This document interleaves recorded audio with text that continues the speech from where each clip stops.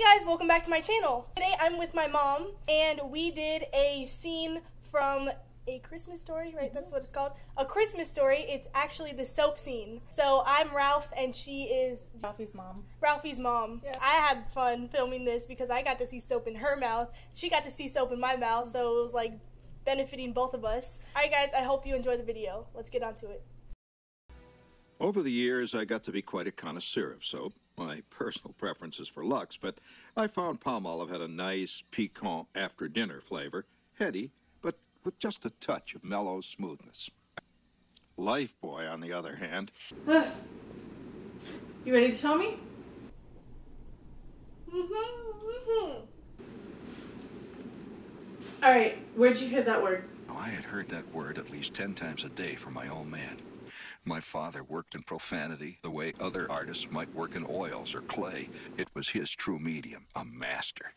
But I chickened out, and I blurted out the first name that came to mind. Schwartz. Oh, I see. Mm-hmm. Mm-hmm. Mm-hmm.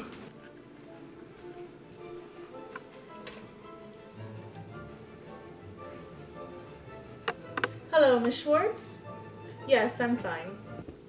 Um, Miss Schwartz, do you know what Ralph just said? Do you know where he heard it? He heard it from your son.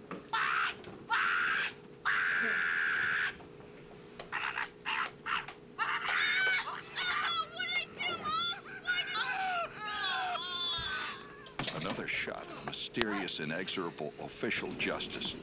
Rinse up and go to bed.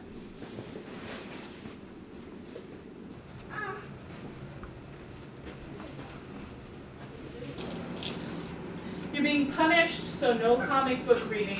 I'm gonna come in there if I see any of the lights on. Oh, don't you give me that face. You're gonna get it.